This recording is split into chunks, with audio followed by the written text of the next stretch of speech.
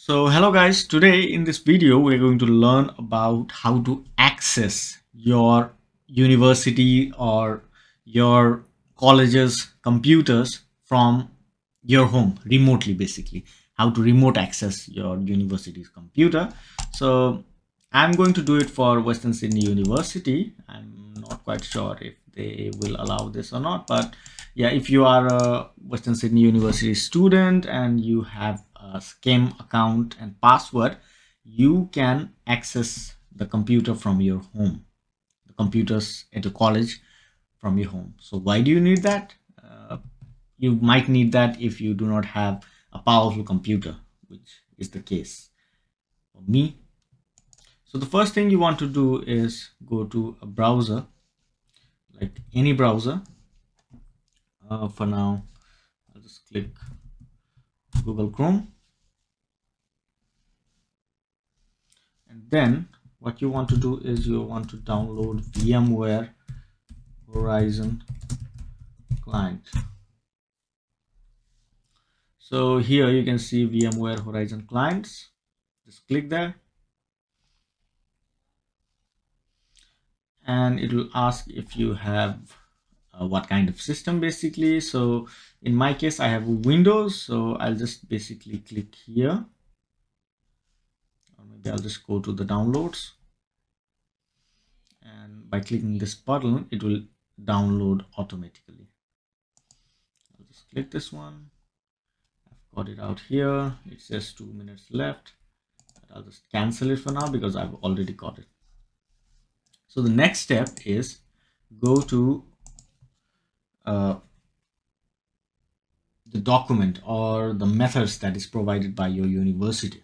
So in my case, I'll just type something randomly to find it uh, quite quickly. So access Western Sydney Uni Computer Labs remotely. So if the keywords are right, basically, then you will be redirected to something so in our case that we are going to do now is this one so i'm basically an engineering student and here we can see that the manual is provided for windows 10 or mac users. I'll just click windows 10 and it basically describes what the horizon view remote access system is. I won't go into the details. What I need is just this light server address. And since my Horizon client is already downloaded. And upon installing you will see something like this. So in here you've got an add server section. You might just want to click here and just go and control C to copy.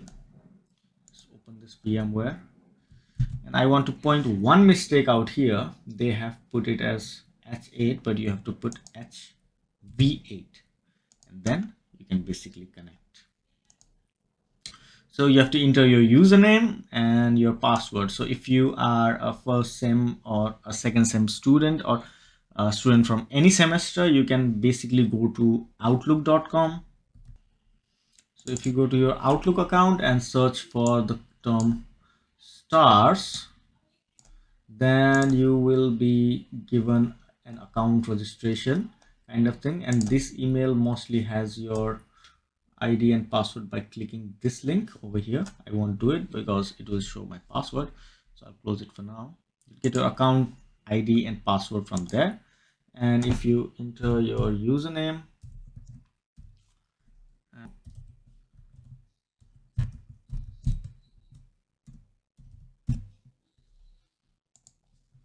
now you've just logged in. So for me uh, as you can see like we can access different software and the best thing is you don't have to install any of this in your computer. For our mechanical engineers, there are apps like SolidWorks, robotics apps, ANSYS, or if you are a programmer you've got Jupyter that's basically Python or SQL and even for just project management you've got my MS project or just even for writing reports you've got Word. And if you want to develop some games you've got Unity as well. MATLAB for coding Blender Arduino. So basically you can access any of the app. And also you can just log in to the computer system by clicking it in here